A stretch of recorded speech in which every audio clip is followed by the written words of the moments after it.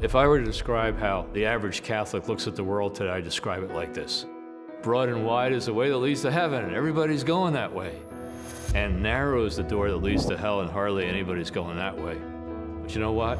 That's just the opposite of what Jesus himself tells us the situation is.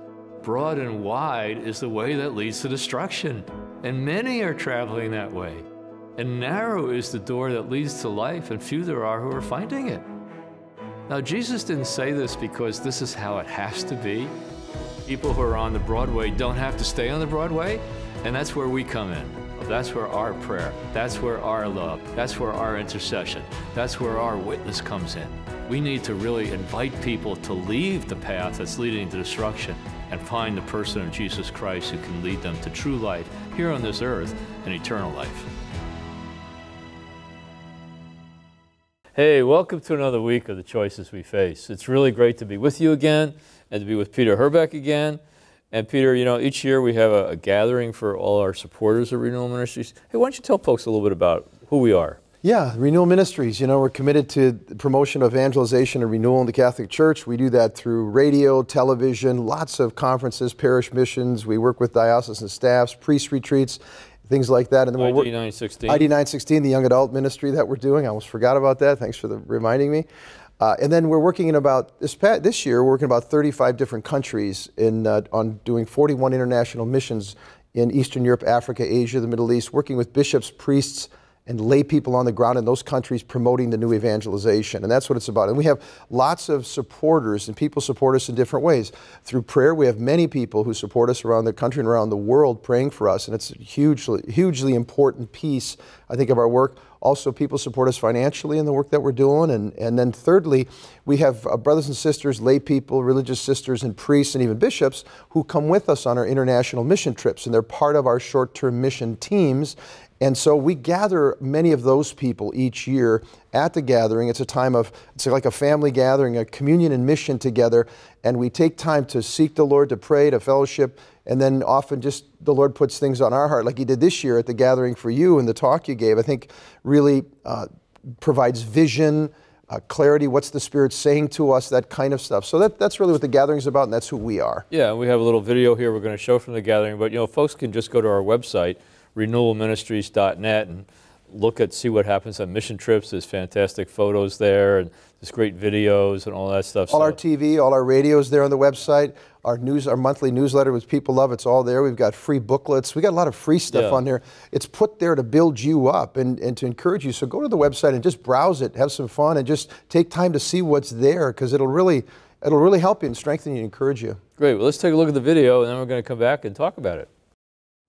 I'd actually like to read a little bit more from that passage from Hebrews, starting at verse 18, Hebrews chapter 12, verse 18. You have not approached that which could be touched, and a blazing fire, and gloomy darkness, and storm, and a trumpet blast, and a voice speaking words, such that those who heard begged that no message be further addressed to them, for they could not bear to hear the command. Here's the command if, if even an animal touches the mountain, it shall be stoned. Talking about Mount Sinai, the appearance of God, the giving of the Ten Commandments. Indeed, so fearful was the spectacle that Moses said, I'm terrified and trembling. But not for you. No. You've approached Mount Zion and the city of the living God the heavenly Jerusalem and countless angels in festal gathering. I think this is a little foretaste of it. I mean, you know, we don't have our angelic bodies yet, we don't have our angelic clothes yet, but it's, it's shining through anyway. You can kind of see it in anticipation. And the firstborn, the assembly of the firstborn enrolled in heaven, and God, the judge of all, and the spirits of the just made perfect. One of the things the Holy Spirit is trying to do is to make us perfect. You know, he's got quite a job, doesn't he? but he will do it. The Holy Spirit will make us perfect so we can stand in the presence of God. And Jesus, the mediator of a new covenant, and the sprinkled blood that speaks more eloquently than that of Abel. And then the passage that Peter read See that you do not reject the one who speaks. For if they did not escape when they refused the one who warned them on earth, how much more in our case if we turn away from the one who warns from heaven?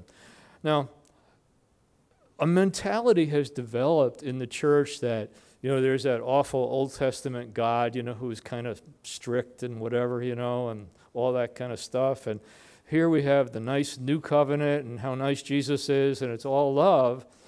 But one of the things that God was trying to do to prepare for the coming of Jesus is to teach his people his holiness. That's why when people touched the ark, they died. That's why they couldn't enter without cleansing themselves. God was trying to teach his people his holiness in order to prepare them to appreciate what it was when the Holy One became flesh, when the beloved Son came in our midst, when he shed his blood for us. It's the Holy One doing this. It's the Holy One offering his life as a sacrifice for us. And that's why it says here if the punishment was severe in the old covenant for violating the holiness of God, it'll be even more in the new covenant because the gift is so much more precious. It isn't just clouds and, and noise and fire on a mountainside, but now it's the beloved. Now it's the Word made flesh. Now it's the Son of God. For if they did not escape when they refused the one who warned them on earth, how much more in our case if we turn away from the one who warns from heaven? How does the warning from heaven come to us? It comes in our conscience, it comes in the Spirit convicting us of sin, it comes from the Spirit warning us, but it really very majorly comes in the Word of God. Jesus warns us what will lead to destruction, what will lead to life.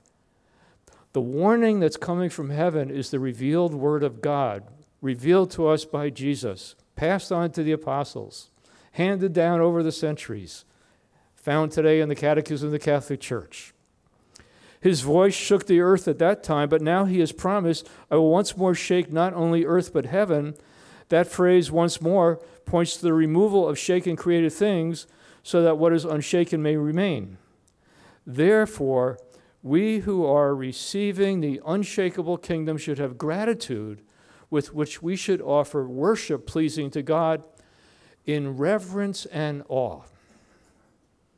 It's truly awesome that the Word became flesh. It's truly awesome that He gives His body and blood to us in the Eucharist. It's truly awesome that His Holy Spirit is dwelling in us, and we're now temples of the Holy Spirit. We're members of Christ's body. It's truly awesome what He's made of us and who He is that has made that of us. For our God is a consuming fire. So even in the new covenant, we can't forget the holiness of God. There's even a greater holiness that has come into our hands. And so we need to approach God with that reverence and awe and be ever so diligent to listen to the warnings from heaven. Okay. Now, what's being shaken? Pretty much everything. The world, ISIS, Iran, the confusion amongst the governments of the world that seem confused about what to do about almost anything, the rise of aggressive Islam, and aggressive secularism. The hatred towards God is expressed not just in the killing of Christians, but the hatred of God is also expressed in our own countries in trying to silence the warning from heaven, trying to silence the Word of God. So much talk about bullying and the biggest bullies seem to be the bullying people or the anti bullying people, which just happened in the states of Indiana and Arkansas, where they tried to pass religious freedom laws, and all of a sudden the whole world jumped on them, and Microsoft and Google and all those cool places to work said, We're going to pull out of your states, you're going to lose jobs. And they caved in under economic threat. all the pizza makers and bakers and florists who don't feel they can really contribute towards same sex weddings. It's absolutely vicious what, what's happened to them. One, one time on our website to see what was happening to this little pizza parlor in Indiana, and the most vile, disgusting things were being said. And, and they, were, they, were, they were wishing those people death. They were, it, was, it was just like, you know, a look into hell almost. And then, of course, Ireland. I don't know if anybody quite would have dreamed that something like this could have happened even a couple of years ago. 800 years of persecution, 800 years of poverty and famine didn't dissuade them from their faith. But 30 years of prosperity and trying to catch up with the advanced nations of Europe has infiltrated a poison into their system and it's very much like what it says in Romans chapter 1. They knew God, but they didn't thank Him or worship Him. And they exchanged the truth of God for a lie and worshiped the creature rather than the creator. Something like that has happened. It's happening all over. People are exchanging the truth of God for a lie. And the result of that, Holy Scripture says, is that they're given over to darkness. They're given over to their own disordered desires. Their minds are darkened and, and all kinds of confusion enters in uh, sexual confusion, gender identity confusion. It's, it's all there in Romans chapter 1. It's just all there. Love dries up, families break down. About a month ago, a man named Frank Bruni wrote a column for the New York Times. And in the column, he says, You know, what's really standing in the way of our agenda. He's talking about the gay agenda. Who wants to talk about this stuff? I don't want to talk about it, but they're making us talk about it. What he said is that the only thing standing in the way of the gay agenda is the Christian churches. And they're starting to crumble. And he mentioned a number of mainline churches, the Episcopal Church, the United Church of Christ, the Presbyterian Church. They've seen a way of changing their teaching, and we absolutely have to demand that the other churches do the same thing. Religion is going to be the final holdout and most stubborn refuge. Conservative Christian religion is the last bulwark against full acceptance of all that. And then he talks about all the books that are being written, reinterpreting Scripture, and saying, why don't they get with it? Why don't they read these books? And then one of the people that he's drawing on as a source said, Church leaders must be made to take homosexuality off the sin list. Well, we didn't put it on the list, so we really can't take it off. it's not our list. And it's just one of so many things, of dozens of ways in which we can seriously offend against the holiness of God. 1 Corinthians chapter 6, you know, it says, Don't let anybody deceive you. The immoral will not enter the kingdom of God. And it doesn't single out one sin or another, it throws them all in there. You know, fornication, adultery, homosexual behavior, robbery, you know, thieves, uh, misers, drunkards, uh, just all kinds of ways in which we can grievously offend against the Lord. And, and very similar list in Galatians chapter 5, and very similar list in Ephesians chapter 5, and very similar list in Revelation 20 to 22. This is the voice warning us from heaven out of love. This is the voice warning us from heaven, and we better heed it. People want to silence that voice. People want us to mess with the list. People want us to allow their sin to be called virtue.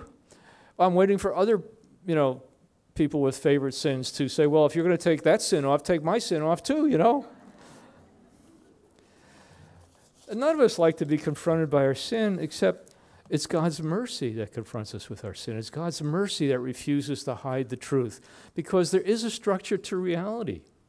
There really is a heaven and there really is a hell, and there's a structure to reality. And the voice is warning us from heaven how to end up really, really, really, really happy. And what the consequences are to reject that happiness, to reject that truth, to reject that love and that life.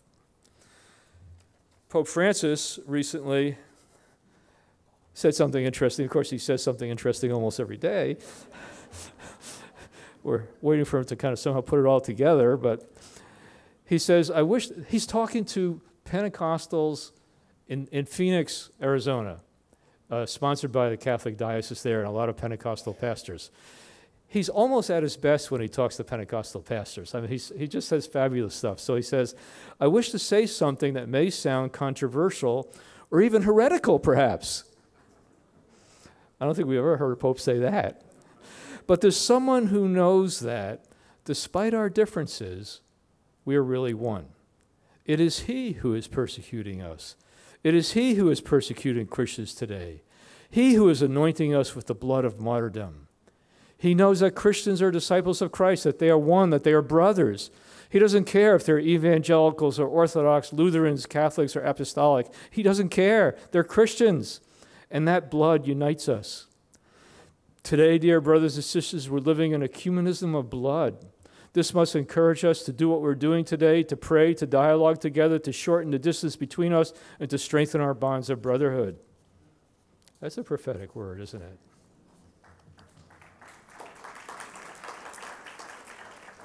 But not only is he, the enemy, the evil one, killing Christians, he's also seducing souls big time.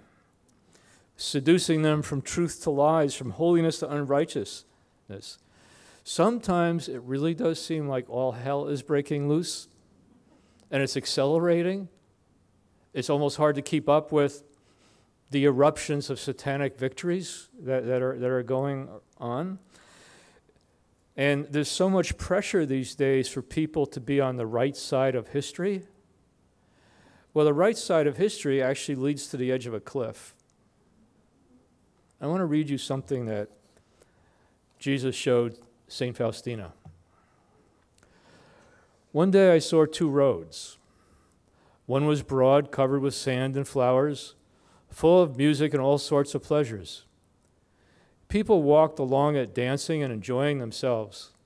They reached the end without realizing it, and at the end of the road, there was a horrible precipice, the abyss of hell. The souls fell blindly into it as they walked, so they fell. And their number was so great that it was impossible to count them.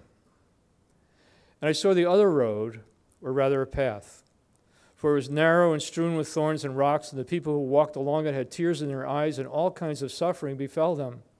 Some fell down upon the rocks, but stood up immediately and went on.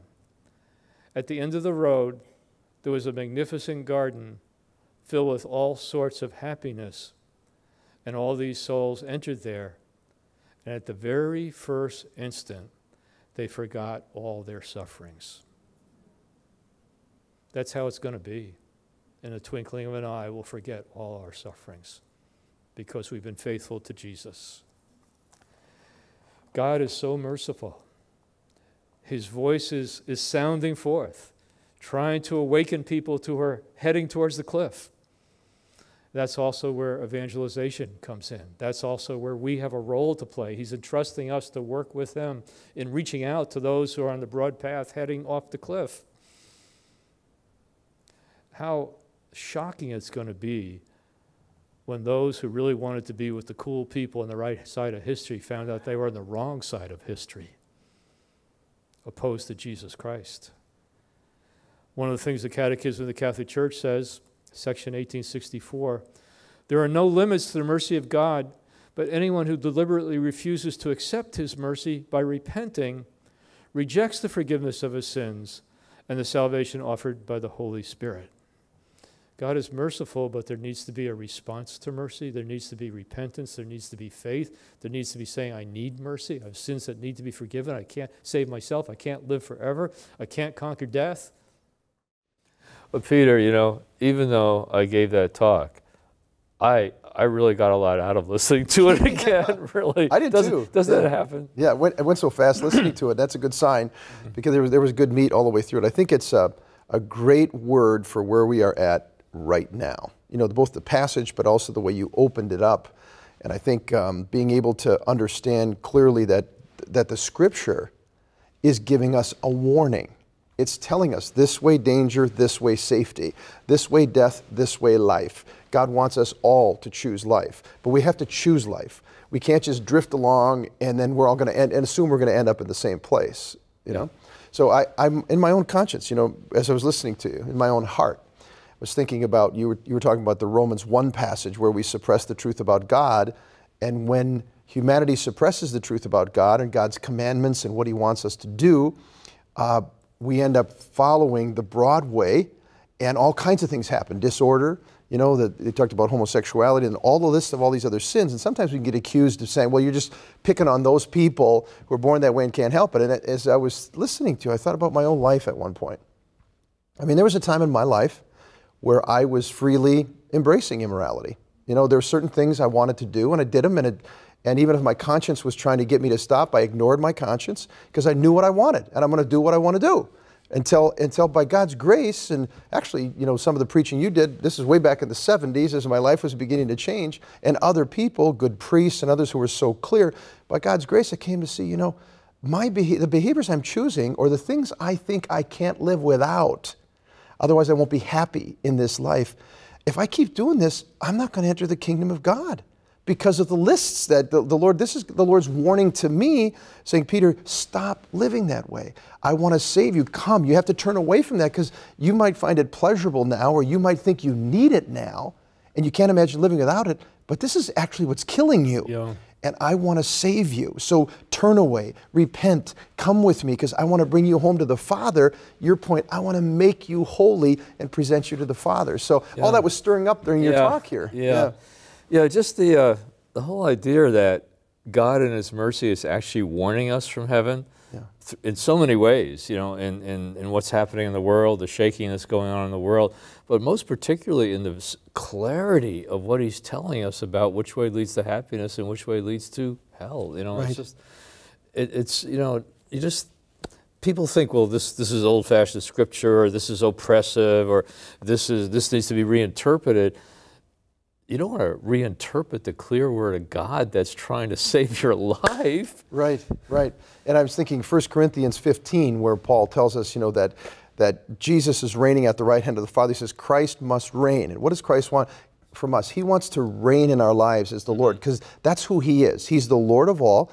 And Paul says he's now uh, making war on the enemies of God. And he, when he comes again in glory, all the opposition to God, all the indifference toward God, all the drifting along with the culture, all, the, all of us living with our own lists, we're going to find ourselves on the wrong side of history, as you said, and the judge of the living and the dead will stand there and he will reveal to us from our own heart the words that I spoke, the things that I did that I refused to repent of, I refused to change, and then God's judgment's going to come on me because I refused to heed the warning. You know? Yeah. So, yeah. Well, you know, Jesus warns us that it's going to look really different when he reveals what's really going on. That some that look like they're first now are actually going to be last, and some that look like they're last and have no consequence in this world are going to be the great and holy ones. You know, it's it's going to look different. Yeah, it definitely is, and I think the the uh, Paul's line.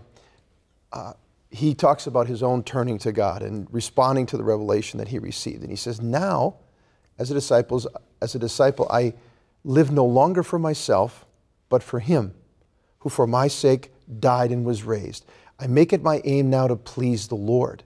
That's the decision. I want to now please Him and move in His direction. We're not sitting here saying we're without sin, we never, you know, but what we're saying is because of God's grace, we now want to fight against that stuff in us and yield to God's grace and say yes to Him and turn away from the things that we used to do because we want to walk with Him and let Him accomplish in us as Lord what he wants to accomplish. Yeah, that, that's really a great way of saying it, Peter.